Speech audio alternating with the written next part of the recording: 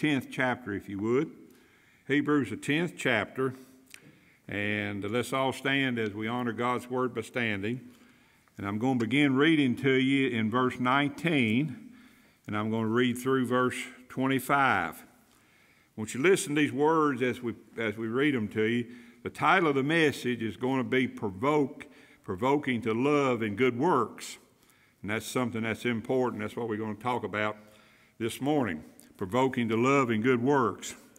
He says, Having therefore, brethren, boldness to enter into the holiness by the blood of Jesus, we just sang the song about it, by the new and living way which he hath consecrated for us through the veil, and to and this is to say his flesh and having, in other words, he gave himself there for us, and having a high priest over the house of God, let us draw near with a true heart in full assurance of faith, having our hearts sprinkled from, from an evil conscience and our bodies washed with pure water.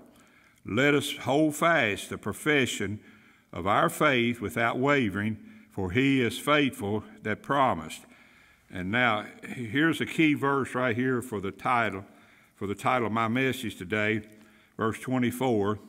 He says, he says, and let us consider one another to provoke unto love and to good works, not, not to provoke other ways, not to, not to lead people other ways, but lead them, lead them to God to provoke to good works, not forsaking the assembly of ourselves together, as a matter of some are or is, but exhorting one another, and so much more as we see the day approaching.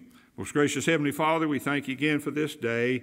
Thank you for the blessings of it, Lord. We thank you for the time we have here together. Lord, I just pray that you'll give me the unction I need today, give me the sight I need, uh, give me whatever I need today, Lord, to preach this message that you've given me today, Lord. You know what I need, and you know you know how I, I, I trust you every day, Lord, and and I, I, know that I haven't been the best of servants, but but Lord, you know I trust you every day. I trust you every Lord's day to go with me, and every Wednesday night, and and every time we meet, Lord, I trust you to go with me and, and give me what I need to say, and let, and let me understand uh, uh, what I'm what I'm reading and and be able to see what I'm reading.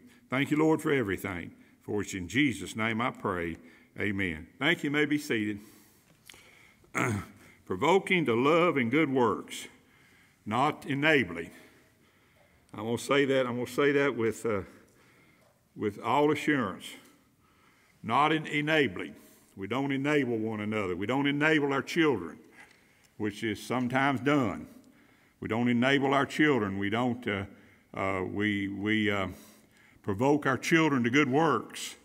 And I was looking at uh, those little lights as they were up there. You know, we, we, got a, we got a little set of lights coming up. And uh, I was wondering how their lights were shining so greatly. Well, we got some of the older lights. I wonder if their lights are shining today too. You know, that's, uh, that's what you wonder. You know, what a, what a great what a great opportunity we have as God's children to not only to provoke one another to love and to good works, but also to, to provoke even our children to love and good works. You know, we don't do things that drive them away or draw them away. We do things that bring them back close to the Lord. You know, the average Christian would rather not work for the Lord after they are saved.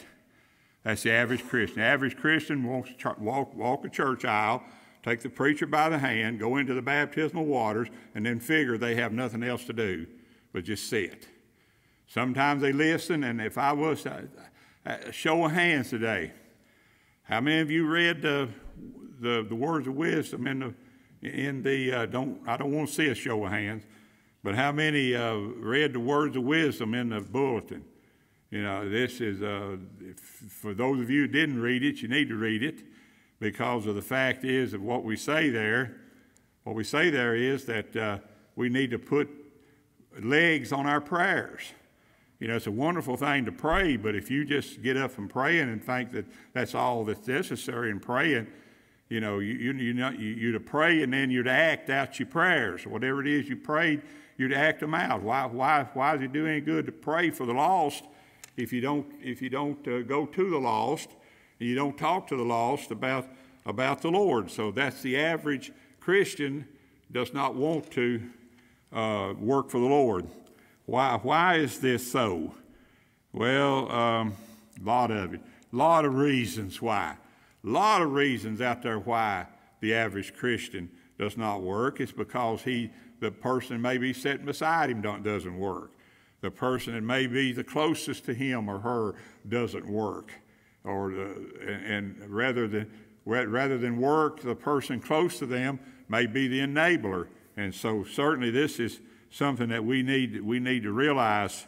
The average Christian has a difficult time separating the work of God, the work, I'm sorry, the work God does, and, and, and his or her life from the work that God expects the child of God expects them to do. So, you know, uh, you know, we know what God's done for us. I hear it all the time. I hear it every day. I, every Sunday, every Wednesday night, I hear how much God, I read it on Facebook, how much God has done for us. But how much have we done for others? How much have we gone out and helped others? That's the key to this message this morning, is how, how much have we done to, for others? How, how many people did you actually sit down and talk to this week and tell them about Jesus? You know, uh, I heard that uh, I, I, heard through some of the little children from down there at um, uh, at um, Toombs County, uh, Toombs Central School, that our little girls are talking to others. I heard that. I heard that out of one of the one of the little girls that uh, that comes church here. Talk about I was talking to my friends, and and you know, you know, let's listen to this. I know some, some people may think about, we're going to baptize uh, uh, uh, Aniston uh, next Sunday morning, Lord willing. Everything goes as, as we think it's going to. But uh, how, how, many, uh, how many people sometimes have doubt in what a child knows and what a child is doing? I know they do. I've already heard it. I've already heard it. I've, I, I haven't heard the very words, but I've heard it through the grapevine. You know, uh, they're, they're awfully young. Well, let me tell you, folks, these children know what they're doing. They know what they're doing. One, one, of, the, one of the most wonderful Christian women that I've, I've known in my life that uh, was, was actually saved when she was five years old. She was a great witness for the Lord. Great witness for the Lord. Brother Jim Jeffrey's wife, Brother Robbie Jeffrey's mother, uh, uh, she, she, was a, she was a great worker for the Lord. She, but she was saved when she was five years old. And, and she, she's a great worker for the Lord. She was a great witness. She was a great witness. And, and so that's a, that goes to show you right there that you, that they're not too young. They're not too young. I'm looking forward to baptizing Aniston next Sunday, and I'm looking forward to her to be a great witness for the Lord. And, and, I, and I pray that I, I think that's going to happen. I really do, really believe that's going to happen.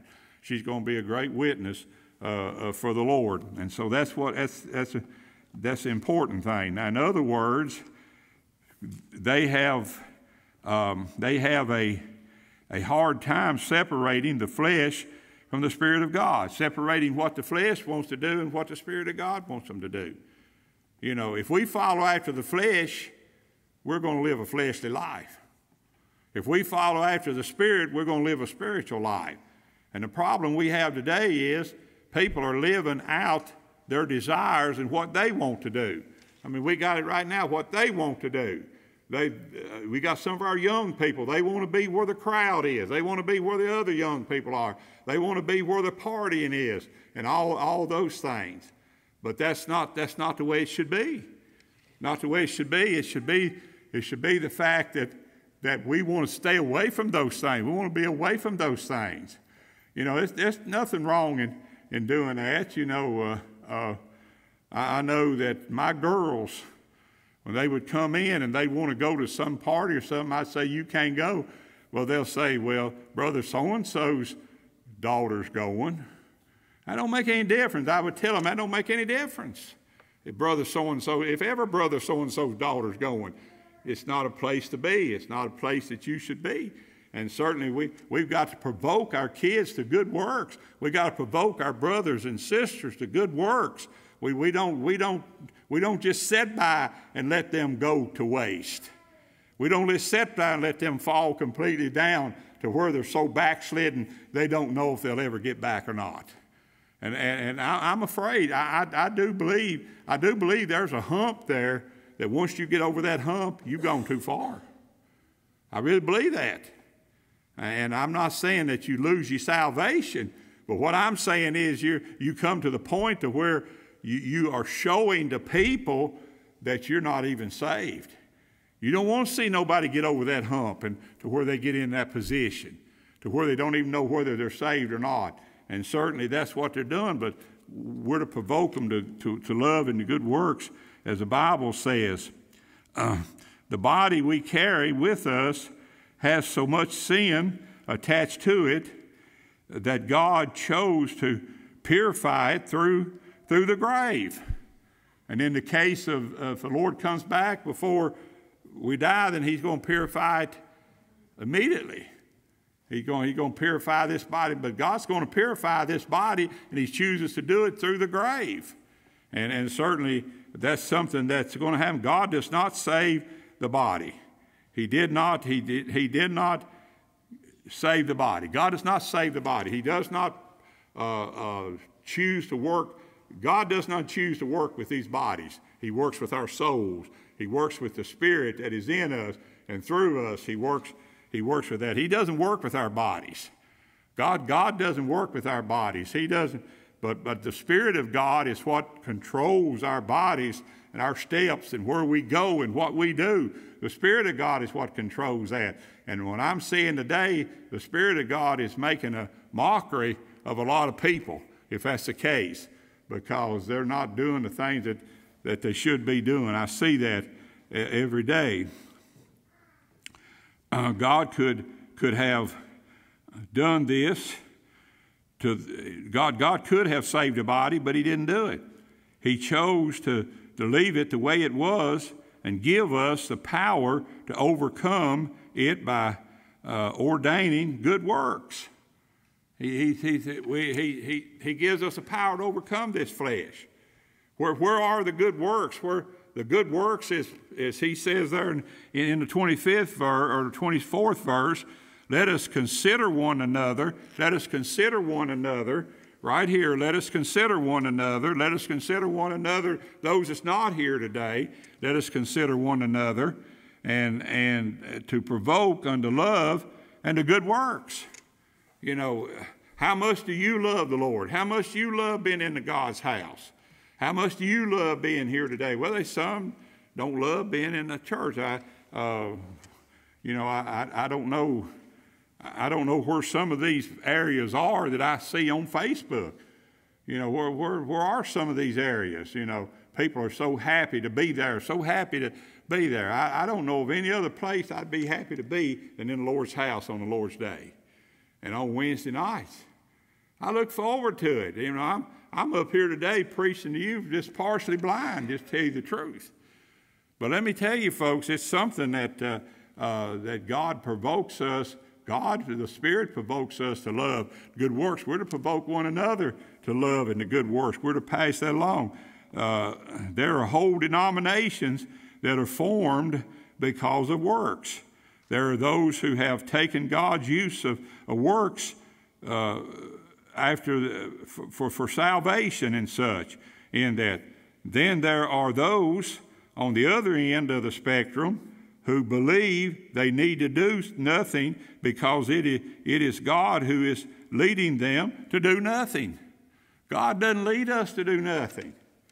And I heard that. I heard that one time. Well, well, you know, if God, if God, uh, uh, if God predestinated me to do this, then then evidently it must be okay, or God wouldn't predestinate me to do it. Let me tell you, folks. Let's don't forget that God, God also has a God also has a wheel in which He will sometimes let you have the rope, and He'll sometimes let you go out and hang yourself. Sure is. It's called God's permissive will. God permits us to do things, and we get ourselves in trouble, and then He chastises us. He's already pre- preordained and predestinated that He's going to chastise us. When is your chastising coming? When is it coming? When right down here in the 25th verse, he says, Forsaking not the assembly of ourselves together, as a matter of some is, but exhorting one another, and so much the more as you see the, the day approaching. Where, where is that exhorting of one another? You know, we just, we just accept the fact that uh, we don't need to say anything to anybody about not coming to church. And, and I'm, I'm just as guilty of it as you are. I'm just as guilty of it as you are because let me tell you, folks, there's some people don't come to church enough to keep their name on the roll. I'm serious about that. And, and certainly that's something that, that, that we need to consider. You know, we need to consider that, you know, and, and consider to provoke to love and good works. Then there are those on the, uh, well, we haven't said that. Uh, then, um, let's go on down here. They, they are in danger of damnation they have blasphemed the very Holy Spirit who is supposed to be leading them by accusing him of leading them to do nothing.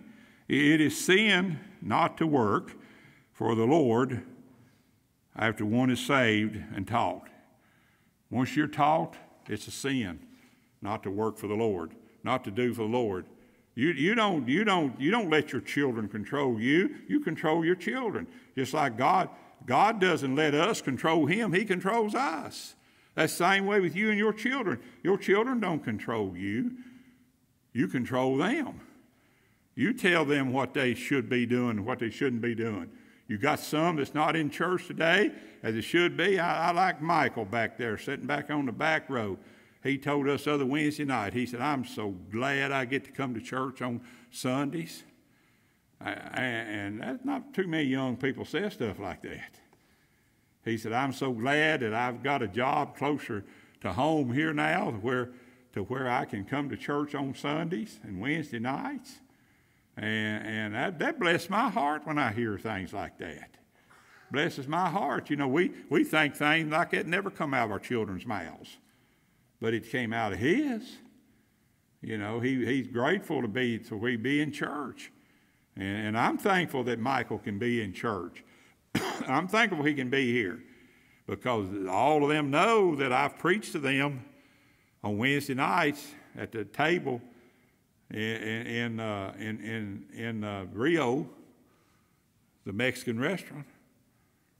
You know, I tell them, I tell them what they should be doing and such. So, you know, let me tell you, folks, this is something that this is a lifelong 24 hour day job that we have as God's children, that is to provoke to love and to good works. We're to do that. We're to do that. We see somebody slipping, David, David said in one of the Psalms, he said, I found myself slipping. But he said, God got a hold of me and he, got, he straightened me out. God got a hold of me and he straightened me out. I've seen myself slipping before, and God's got a hold of me and straightened me out. But I've seen myself slipping and other people have gotten a hold of me and told me I'll never, I, I will never ever forget Sister Maud Arnold and Sister Ann Reed. They were two ladies that were members of, of uh, Calvary Baptist Church in Cynthiana, Kentucky. You know, those two ladies knew that when I came there, I was pretty green when it came to the ministry. I, I, when I went to pastor their church, I had pastored, a, served as interim pastor at the uh, Salem Missionary Baptist Church in Willow Hill, Illinois, for four months. I told the church when I went up there, I said, I will, I will stay here approximately four months, but I'm going to have to, I'm going, because I'm in school and I'm going, I can't drive 365 miles every weekend. That's what I was driving, 365 miles every weekend. One way, not, not two ways, one way. Every weekend I was driving 365 miles one way and 365 miles back. And, and to pastor, serve as interim pastor of, of Salem Missionary Baptist Church in Willow Hill, Illinois. And uh, then, then when, I came, when I came back, I came back on the last Sunday of, of, of, uh, of November. And that very day when I walked in the door, Rhonda didn't get to go with me because I, I don't know, I th- she was pregnant or something was wrong. She didn't get to go. anyway, um, I walked in the door and Rhonda said, There's somebody trying to call you from Cynthiana.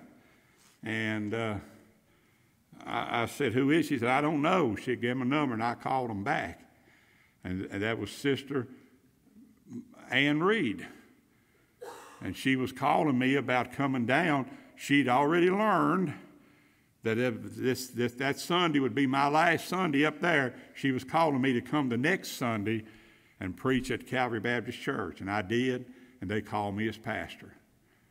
And, and so, you know, that's, that's what we do. That's what we do. And Sister Maud Arnold, Sister Ann Reed would take me aside if I preached something that, that was kind of uh, uh, uh, not, not just right. They'd take me aside and they'd say, This is wrong. And they'd show me. They wouldn't get mad at me, they would show me. They would show me where I was wrong in some of the things I said. I was just green. I was young, hadn't been saved but just a few months. And, and, and so I, I, needed, I needed uplifting. Well, they, they provoked me to love and to good works. Now, there's some things that we need to consider here. There has to be a boldness to do good works. There has to be a boldness to do good works. Uh, the Old Testament saints had to wait on the high priest before they could even worship Jehovah. they couldn't worship until the high priest told them to. High priest told them it's time now to worship. And they would worship. Well, the pastor here doesn't do any good for a pastor to say it's time for you to worship. You still miss church. You Still stay home. And, and so, but, but the priest, they cannot even worship the Lord until, until the high priest told them it was time to worship the Lord now. They did it. The high priest controlled the worship to Jehovah. If you ever, uh, if you were an Old Testament saint in those days, you would have to wait until the high priest came out of the Holy of Holies before you would even know if your worship was acceptable. The high priest would come out and, and he would tell them, your, your worship is acceptable. You did what you're supposed to do. You did the right things when he would come out of the Holy of Holies. That's, that's how they were controlled. They were controlled not, not, not by, well, of course, by God, because God was controlling the high priest, but the high priest was telling them when they were to worship, how they to worship, and if God even accepted their worship or not. The high priest, but boy, today, a pastor is not to, as, as one man told me one time, uh, don't, don't interfere in our business. You know, don't interfere in our business. But that's, that's what the high priest did. he, he would let them know if their sacrificial type was fit to the coming Messiah or not. When Moses came down from the, uh, from the mountain, he let them know in a hurry the golden calf was not acceptable. Moses went up to receive the law. When he came back down, here they were. They had made them a golden calf. All the Israelites that were gathered there around the mountain, they had made them a golden calf, and some of them had stripped off naked, no clothes on, and they were they were marching and worshiping that golden calf. And, and so as a result of it, result of it, Moses threw one of the tablets of the law. He threw it down and broke it. He broke it. And because God had just given him the law that said, Thou shalt not do those kind of things. And here they were doing it uh, there. So, so Moses let them know that God was not acceptable with that. They, they thought they were doing the right thing. They thought, well, we're to worship if we, if we just make us a golden calf uh, that, and, and represent it as, as God, then we, then we worship it, then God will be happy with us. Well, same thing Christmas time, same thing in the holidays. You know, I've had people tell me, don't you think God would be happy with me if I celebrate the birth of Jesus, even though the Bible doesn't say anything about it? Well, you know, that's, uh, uh, that's not acceptable service. Not acceptable service. They went before God for. Uh, let me get let me get here. They went before God for you, and and He let them. I'm sorry, uh, and God worked with the Old Testament saints through the priest. As usual, there were those who didn't think Jehovah was righteous in doing it that way, just like there are those today who think God is not righteous in the way He accepts them to worship. He, that God, God is God's too hard on me. God's too hard on me. God is too hard on me. I want to do this. I want to follow some of my family. I want to do this. I want to do that. God is too hard on me. Brother Paul's too hard on me when he preaches the, the Word of God without uh, the unadulterated Word of God without any apology. Brother Paul's too hard on me. God's too hard on me because I got things I want to do. I've got friends I want to party with. I've got friends, I want to do this. I've got friends, I want to do that. God's too hard on me. You sitting up here telling me that I can't do that anymore? God's too hard on me. If that's the case, that's how some people see it. Too hard on them. They choose to try and forget God and do it their, their own way. That's what people do today. Instead of, instead of people worshiping, you know, we somebody's got to stand in the in, in the bulwarks and let people know that that's wrong. That's wrong. That's the wrong thing to do. It's the wrong, wrong way to be in that. One thing that we can learn today, God has given us a boldness to do good works. He's given us a boldness, you know, have you had a boldness to go talk to someone? I've heard people say, I, I just can't go to my family and talk to them. God will give you the boldness to do that. If you want to do it, if you really want to do it. You just say, Well, I can't go to my neighbor and talk to them. My neighbor came to my house here the other day. She visited church here. My next door neighbor, she came over to the house the other day and she said, Would you pray for me right now? I need you to pray for me because I'm, I've, got some, I've got some trouble, some problems. And, and, I did right there, right there where I was sitting. I was sitting in my recliner, and, and, and I, I raised up out of my recliner, and I took her by the hands, and she kneeled down, and I prayed for her right there in my study at home. You know, you, you've got to have boldness for stuff like that. You've got to have boldness to, to, to, to do stuff like that.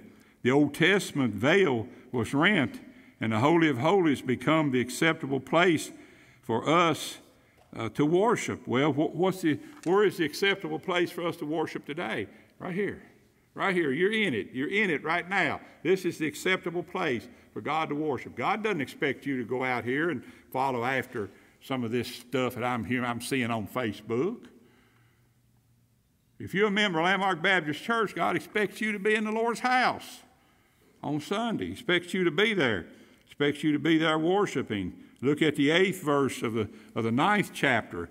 Uh, we were in the tenth chapter, but go back to the eighth verse of the ninth chapter. I want to read something to you here. The Holy Ghost, thus this signifying that the way into the holiest of all was not yet made manifest, while as the first tabernacle was yet standing, which was a figure for the time then present in which were offered both gifts and sacrifices that could not make him could not, could not make him that did the service perfect as pertaining to the conscience with, withstood only in the meats and the drinks and, and the divers washings and the, and, and the carnal ordinances imposed on them until the time of the Reformation. So we can see that that God does not just accept any kind of worship. He doesn't accept any kind of worship in this. Because of all the preceding, each one of us has the boldness to do the work God left us, us here to do. How much do we do for the Lord? We sing the song here. We sing, I'm, I don't know, I don't can't remember the words of it, but, but said, The Lord gave himself for me. How much have I given to him? Am I willing to die for him? He was willing to die for me. Am I willing to die for him? You see what we're talking about? God is not going to come down and shake you and put you right on your feet and make you walk in His way. However, He will visit you if you don't if you don't uh, do what you're supposed to do, the right things to do. Also, we talk about the breath to do the good works. The boldness to do the good works, there has to be the breath to do. What does breath represent in the Bible? Breath means the presence of the Holy Spirit. He breathes upon us. That's where the breath comes from. The Holy Spirit, He breathes upon us to do what we, He would have us to do. He breathes that upon us. He leads us to full assurance of our faith. He leads us. He breathes upon us the fact that, that, that, we're, that, that, that we're saved, whether, whether we want to think about it or not. He breathes upon us those facts. It is written in His Word. These things are written that you might know you have eternal life. And the Holy Spirit breathes those words upon us. Every time I get down, every time I get down, that's the first thing I think about is God said, These are written that you might know you have life and you have it eternally. These are written, the scripture's are written. Study the Word of God. See what the Word of God says when you get down. You know, don't, don't go out there and try to find a, a party to go to. Don't, don't go out there and try to find a, a group of people who don't know what they're doing and think that you're going to find happiness and peace. You're not going to do it. Oh, you'll have fun for a little while, but it's not long until it goes too far. It goes too far, and then, and, and then you, have to, you have to realize, you know, that, that I shouldn't be here. I shouldn't be doing these things that I'm doing.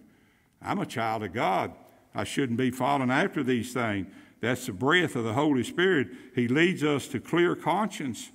He leads us to a clear conscience. You know, what's, what's your conscience today? You know, do, do you have sin on your conscience today? I do all the time.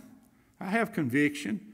I have conviction of the Holy Spirit in my mind and my heart because I, I, don't, I don't serve God as I should. But, but you say, well, you, you're pretty faithful in what you do, but I still don't serve God as I should. I still don't, I still don't say the things I should say. You know, uh, I was here not too long ago, I was witnessing to a group of the men that I drank coffee with. And boy, one of them jumped up and left, and he said, I don't want to hear this no more. But I mean, it takes boldness, and he hadn't come back. Somebody asked me Saturday, they said, Where's so and so? I said, I don't know. He got mad and left the other day, and he hadn't come back. But, but you got to have, you've got to have, uh, he leads us to a clear conscience that this is what I have to do. This is what I have to do. He leads us to, to, the, to the chastening of our bodies. I'm sorry, the cleansing of our bodies. This is not talking about. Uh, sin or or odor. It's not, I'm just not talking about dirt or odor being washed from the body by water, but water represents the Word of God. Water, water, water represents the Word of God, the washing of the water of the Word. What the Bible says. You know, this Bible will clean us up if we study it, listen to it. Some people just don't study it. They just don't study it.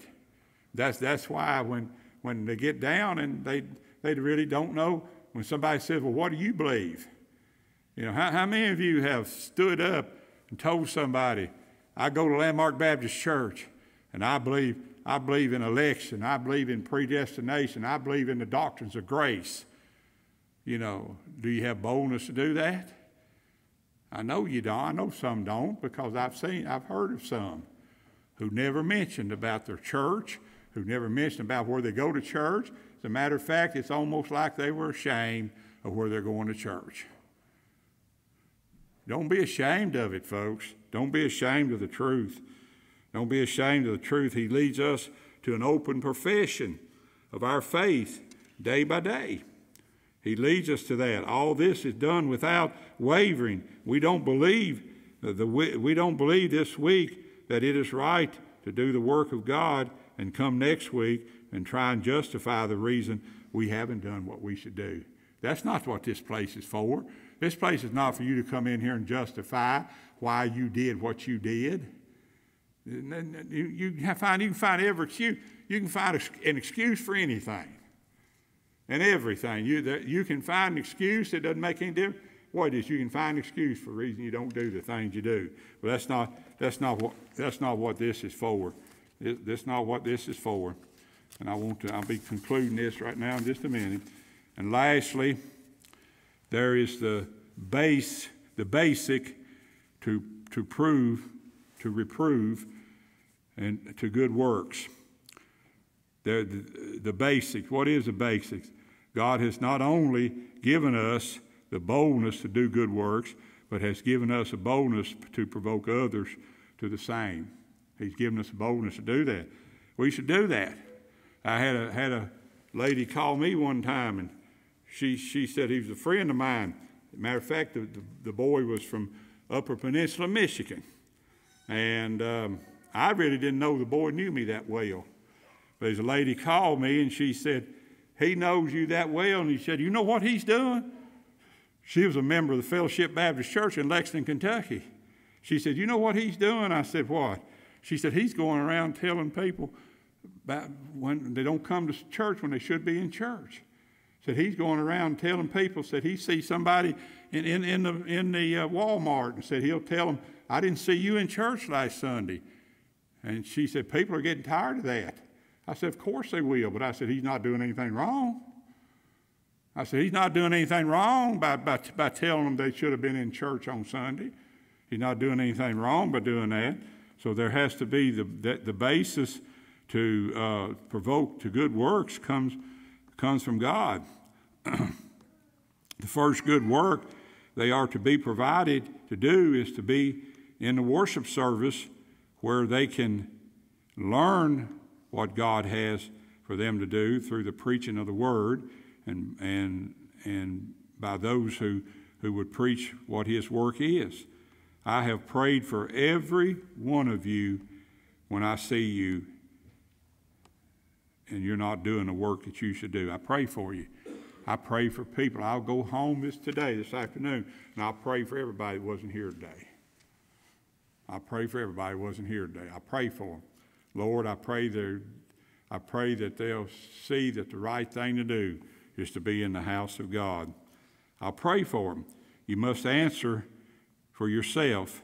I can't answer for you for you. I can pray for you, but I can't answer for you. You must answer for yourself toward God. And I say, God bless you today. I pray that God will lead you and direct you. We're going to sing a verse of song, and then we're going to be dismissed to